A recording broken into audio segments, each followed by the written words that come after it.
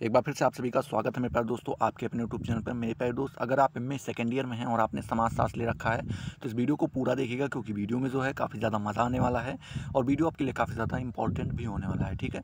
Important इसलिए होने वाला है क्योंकि हम बात करने वाले समाज शास्त्र के पेपर नंबर एक के बारे में, जिसका नाम है प्रगतिशील समाज शास्त्रीय सिद्धांत, ठीक है? इसका दो हज़ार इक्कीस में जो पेपर आया था, वो किस प्रकार से आया था, इसमें कौन कौन से प्रश्न पूछे गए थे और उनको हमें किन प्रकार से करना था, इन सारी चीज़ों के बारे में जानकारी हम लेने वाले हैं, ठीक है? तो चलिए देखते हैं। नोट करके आपको कुछ इंस्ट्रक्शन दे दिया जाता है पेपर में। लिखा है कि सभी खंडों के उत्तर निर्देशानुसार दीजिए, ठीक है? मतलब जितने भी खंड हैं, उनका उत्तर आपको पूरे पेपर को तीन खंड में बांटा जाता है। खंड आ ठीक है? उसके बाद खंड बा और फिर खंड सा तीन खंड में इसको बांट दिया जाता है, ठीक है? खंड आ का मतलब होता है अतिलिक उत्तरीय प्रश्न, जो आप सभी को पता है। बा का मतलब लघु उत्तरीय होता है और सा का मतलब होता है दीर्घ उत्तरीय सभी खंड के नीचे इंस्ट्रक्शन दिए जाते हैं, उनको आपको पढ़ना रहेगा, फिर उसी के हिसाब से जो है आपको उनका जवाब देना रहेगा। जैसे आप यहाँ पे खंड आ देख पा रहे होंगे, इसके नोट, नीचे नोट करके इंस्ट्रक्शन दिया गया है कि किन्हीं पाँच प्रश्नों के उत्तर देने हैं। टोटल आपको कितने? पाँच प्रश्न के ही उत्तर देने हैं। दस प्रश्न आपसे पूछे जाएँगे। प्रत्येक प्रश्न का उत्तर लगभग पचास शब्दों में हो। कितने शब्दों में पाए दोस्तों? प्रत्येक प्रश्न का उत्तर जो है लगभग पचास शब्द में होना चाहिए, ठीक है? तो चलिए देखते हैं, पहला प्रश्न यहाँ पे पूछा गया था। पहले प्रश्न का पहला प्रश्न की अतिरिक्त मूल्य का सिद्धांत क्या है, ठीक है? इसके बारे में आपको जानकारी देनी थी। दूसरा प्रश्न कुछ इस प्रकार से पूछा गया था कि ज्ञान का समाजशास्त्र क्या है, इसके बारे में भी आपको बताना था। तीसरा प्रश्न आपसे पूछा गया था कि धर्म का सामाजिक सिद्धांत क्या है, ठीक है? चौथा पूछा गया था, प्रकार्य की अवधारणा क्या होती है? पांचवा प्रश्न आपसे पूछा गया था, संदर्भ समूह का सिद्धांत बताइए, ठीक है? उसके बाद आपका जो छठा नंबर प्रश्न था वो पूछा गया था कि वर्गहीन समाज जो है, क्या होता है? इसके बारे में आपको बताना रहेगा। उत्पादन के संबंध में जो है, सातवां नंबर प्रश्न आपसे पूछा गया था।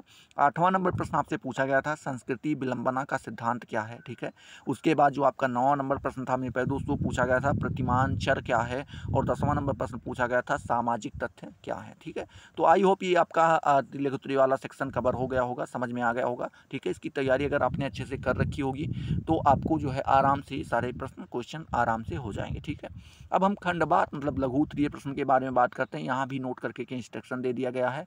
लिखा है कि नहीं, दो प्रश्नों के उत्तर आपको केवल देने हैं और प्रत्येक प्रश्न का उत्तर लगभग कितने शब्दों में प्राय दोस्त? दो सौ शब्दों में मतलब दो पेजों में होना चाहिए। अब बात करते हैं दूसरा नंबर प्रश्न, दूसरा नंबर प्रश्न पूछा गया था, संदर्भ समूह की अवधारणा की व्याख्या कीजिए, ठीक है? इसी में अथवा करके एक प्रश्न और पूछ लिया गया था कि प्रकार्य व आकार्य से आप क्या समझते हैं? दोनों में अंतर बताना रहेगा, ठीक है? पहले तो आपको बताना है कि प्रकार्य क्या होता है, फिर आकार्य क्या होता है, दो हेडिंग डालनी रहेगी, फिर इन दोनों में अंतर क्या है, ये भी आपको बताना रहेगा, ठीक है?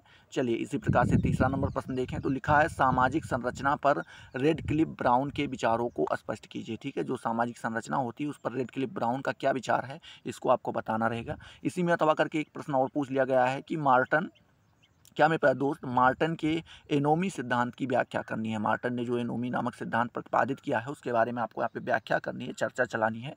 बात करें चौथा नंबर प्रश्न पूछा गया था कि क्या मेरे पास दोस्त, डोहरे डोहरेंड फार डोहरेंड्रफ डोहरेंड्रफ ठीक है, जो कुछ भी हो, पढ़ने में थोड़ा वो, कि संघर्ष के सिद्धांत की व्याख्या करनी थी। अगला प्रश्न इसी में अथवा करके पूछ लिया गया था कि कोजर के संघर्षवादी सिद्धांत को स्पष्ट करना था और मार्क्स एवं कोजर के सिद्धांत की में क्या अंतर है, ये आपको बताना था, ठीक है? मार्क्स और कोजर के दोनों के सिद्धांत में क्या डिफरेंस पाए जाते हैं, यहाँ पे आपको ये बताना था। इसी प्रकार से अगर हम पाँचवें नंबर प्रश्न की बात करें तो पाँचवा नंबर प्रश्न आपसे पूछा गया था कि मैक्स वेबर द्वारा प्रस्तुत सामाजिक क्रिया के सिद्धांत की आलोचनात्मक मूल्यांकन करना था, ठीक है? का, अब बात करते हैं इसी में अथवा करके एक प्रश्न और पूछ लिया गया था कि सामाजिक प्रक्रिया सामाजिक क्रिया पर पार्सन्स के विचारों को स्पष्ट करना था, ठीक है? अब आगे हम अगर बात करें मेरे प्यारे दोस्त किसके बारे में तो छठे नंबर प्रश्न के बारे में बात करें तो छठा नंबर प्रश्न आपसे पूछा गया था कि सामाजिक परिवर्तन के रेखीय एवं चक्रीय सिद्धांत में अंतर स्पष्ट कीजिए। क्या बताना था? जो सामाजिक परिवर्तन है, इसमें रेखीय और चक्रीय सिद्धांत जो है, इन दोनों में आपको अंतर दिखाना है। अथवा करके इसी में एक प्रश्न और पूछ लिया गया था कि काल मार्क्स के सामाजिक परिवर्तन के सिद्धांत की व्याख्या करनी थी, ठीक है?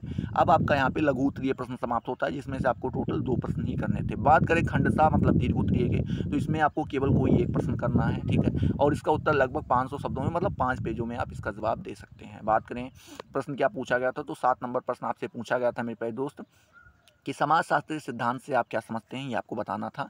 उसकी प्रकृति एवं विशेषताओं पर प्रकाश डालना था। इसी प्रकार से आठवां नंबर प्रश्न पूछा गया था कि मध्य, क्या मेरे पे दोस्त मध्य अभिसीमा का सिद्धांत क्या है, ये बताना था। उसकी प्रकृति एवं उपयोगिता का वर्णन भी करना था, ठीक है। नौवा नंबर प्रश्न पूछा गया था, अब तक मौजूदा समाज का इतिहास, वर्ग संघर्ष का इतिहास है, आलोचनात्मक मूल्यांकन कीजिए, ठीक है। मतलब यहाँ पे इसकी आलोचनात्मक मूल्यांकन करना था, ये बताना था, जो ये आपका एक कथन है कि अब तक का जो मौजूदा समाज का इतिहास रहा, वो किसका रहा? वर्ग संघर्ष का इतिहास रहा है, ठीक है? अब हम बात करते हैं दसवें नंबर प्रश्न के बारे में तो दसवां नंबर प्रश्न में पहले दोस्त आपसे पूछ रहा है कि धर्म के समाजशास्त्र को परिभाषित कीजिए। धर्म के समाजशास्त्र पर मैक्स वेबर के विचारों को पर प्रकाश डालना था, ठीक है? ग्यारहवां नंबर प्रश्न पूछा गया था, ज्ञान के समाजशास्त्र की आलोचनात्मक समीक्षा करनी थी। जो ज्ञान का आपका समाजशास्त्र है, उसकी आलोचनात्मक क्या करनी थी मैं पहले समीक्षा करनी थी, ठीक है?